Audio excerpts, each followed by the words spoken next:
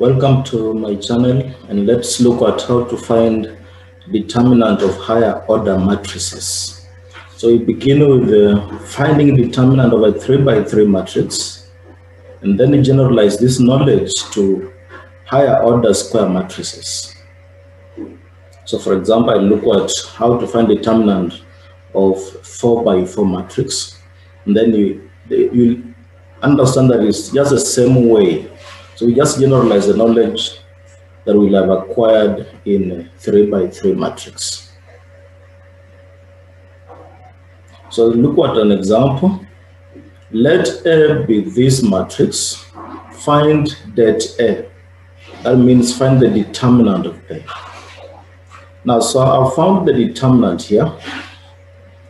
These two vertical lines are I'll use them as a command to find determinants.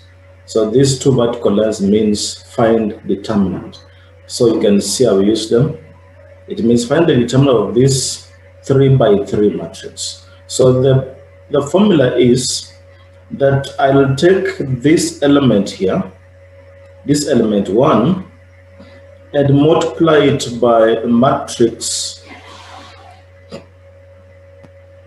of uh, the determinant multiplied by the determinant of a matrix that remains when I delete the row that one is in, that is row one, and delete the column of one. So when I delete the row of one and the column of one, the matrix that is left is three, five, seven, six. So I've taken this element one and multiplied by that the determinant of that matrix that remains on deleting row 1 and the deleting row 2. And then the next thing will be minus 2. minus 2 multiplied by the determinant of the matrix that matrix that remains, the determinant of the matrix that remains when I delete the row of 2 and the column of 2. So on deleting the row of 2 and the column of 2, the matrix that is left is 2, 5, 3, 6. 2, 5, 3, 6. So it's minus 2 times the determinant of that matrix. And then plus 3 times the determinant of the matrix that is left. When I delete the row of 3, and the column of 3. So when I delete the row of 3 and the column of 3, the matrix that is left is this 2, 3, 3, 7. So this is supposed to be 3, not 1. This is supposed to be 3. Now, so one may ask, where am I getting the signs plus, minus, plus, and so on? So the signs are given by negative 1 raised to i plus j, where i and j, where ij is the position of that element. This i is the column of that element, and j is, no, i is the row of that element, and the j is the column of that element. For instance, element one here, what sign should I use? So what element one is in row one, column one. So the sign that I should use should be negative one raised to one plus one, which is negative one raised to two, negative one raised to two, and this would be plus, this is a positive sign, be a positive sign. When I raise negative 1 to 2, the sign will be positive. What about here? What about here? 2, element 2. What is what what sign should I use? So I should take negative 1 raised to this element 2 is in row 1, column 2. And so you notice that this is negative 1 raised to 3. So the sign will be negative. So that's why I have negative 2.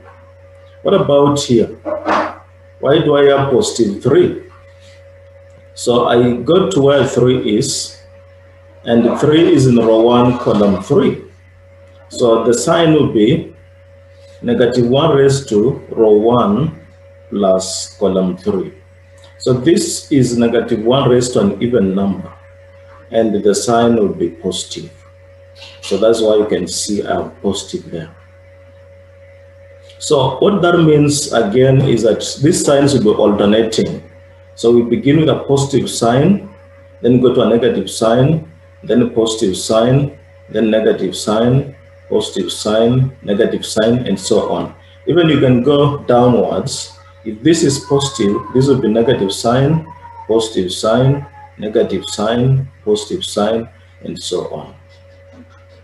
Now, so in this example, we found the determinant of this matrix along the first row, along the first row. So we just proceed, this will be one, multiplied by this determinant minus two, multiplied by this determinant plus three, multiplied by this determinant. What is this determinant? This is 18 minus that five. And that's what I have here, one multiplied by 18 minus five, then minus two, the determinant here is 12 minus 15. 12 minus 15. And this is 14 minus 9. So that's what I have. Using a calculator, you find this determinant to be 4. Now, so what this means again is that we can find the determinant of this matrix along any row and along any column. So look at this. We found it along row 1. You can also decide to find a long row 2 or a long column 1 or a long column 2. So let's try and do it along column 1. Along column 1, you notice that this will be positive, the same positive, the same be positive, negative, positive. So what we did is that we take the element 1, this 1, multiplied by the determinant of the matrix that is left when I delete the row of 1 and the column of 1. So when I delete the row of 1 the column of 1, the matrix that is left is 3, 5, and then 7, 6. Then the next sign is negative, and the element is 2. Negative and the element is 2. So what happens when I delete the row of 2 and the column of 2? The matrix that is left is 2, 3, 7, 6. Then the next sign it was positive, negative, positive.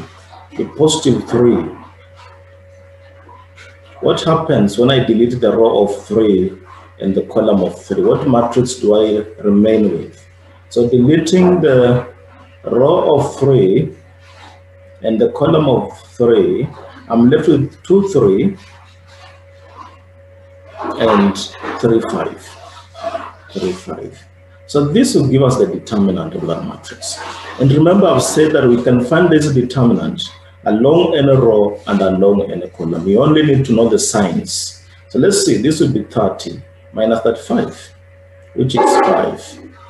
30 minus 35, which is negative 35 multiplied by this one to be negative to be negative 5 if i multiply by this one i still get negative 5 then what about this? This would be there's a negative 2 here. Multiplied by this is 12 minus 21 12 minus 21 then plus 3 multiplied by this is 10 minus 9. 10 minus 9. This will be was 18. This was 18. Oh, this is not correct here. This is not correct here.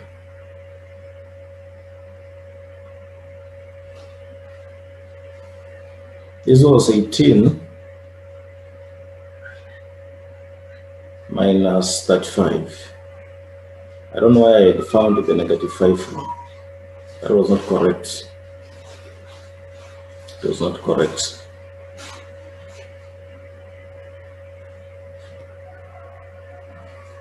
So this was minus 2.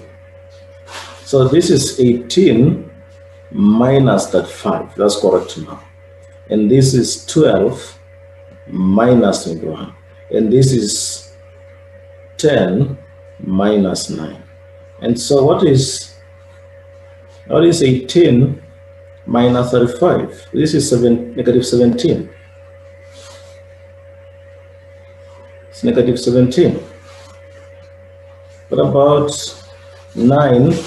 No, 12 minus 21. This is negative 9.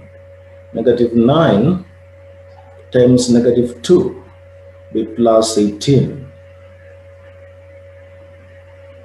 Plus 18. And this is 1 times 3, which will be 3. So this is 1 plus 3, which is 4. So you can see, we can find, we have found it again along the first column. So you can even do it along the second column and you still get the same result. Now, there's another way for a 3 by 3 matrix, another easier way of finding a, a de determinant of a 3 by 3 matrix. And this is the alternative way that I've shown. Now, this alternative way, what I did was I wrote the matrix that I was given here. This is the matrix that I was given. One, two, three, two, three, five, three, seven, six, eight. That's the matrix that I was given. Let me just confirm. Let's confirm. We were supposed to find the determinant. Yes, one, three, one, two, three, two, three, five, three, seven, six. Two, three, five, three, seven, six. Yes as a, as a matrix that we are given. Now, so you take that matrix, you write it here. I've written that matrix here. And then I've taken these two columns. These two columns, I've added them here. So you add these two columns here. And then you notice that there will be three columns.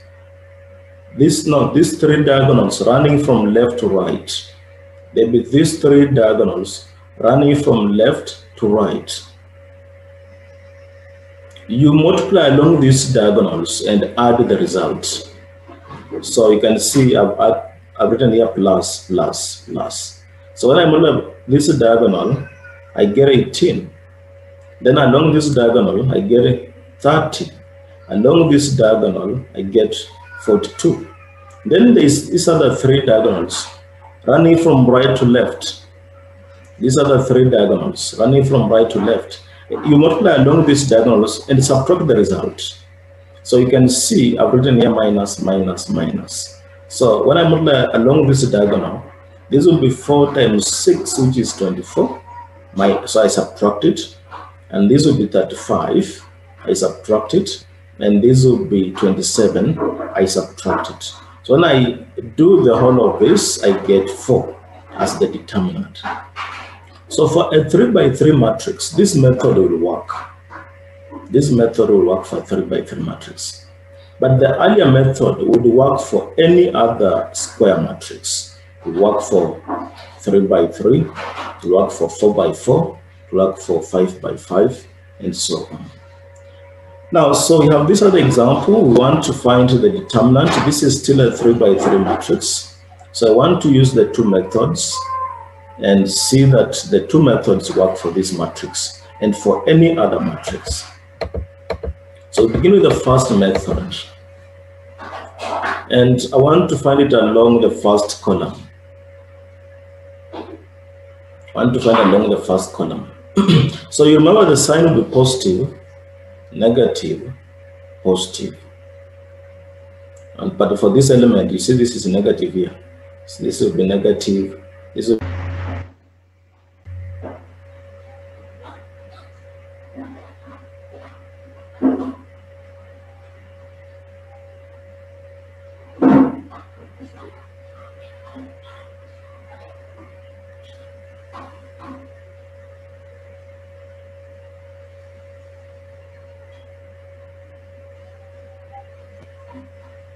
So you notice that this sign here, just as we had said earlier, these signs are positive, negative, positive. So if this is positive, negative, then this will be positive and this will be negative and so on. So if this is positive, then this will be negative and this will be positive. So that's that's how the, mat the, the signs go. And we say the, the just alternate. So that is the knowledge we have. And therefore, want to do it along the first column. So it will be positive, as we've already said, positive, negative, positive. So the limit there is one. And then the determinant of the matrix, the determinant of the matrix that remains when I delete the row of one and the column of one, that matrix is two, negative two, negative one, two. And that's the matrix I have. Then let me just add the next one, but you know that anything multiplied by zero will be zero. So, but let's just put it negative zero and delete the row of zero and the column of zero. And what you have left is two negative one, negative one, two, as I have. And then next is sign is positive. And so positive one, delete the row of one and the column of one. You have two negative one, two negative two. So that's what I'm left with. Now multiply this, this will be four 4 minus 3, no, minus 2. 4 minus 2. And this will be 0. Nothing multiplied by 0 will be 0. So there's no need of multiplying inside here. This will be negative 4 plus 2. So when I do this, I find that this matrix has a determinant of 0.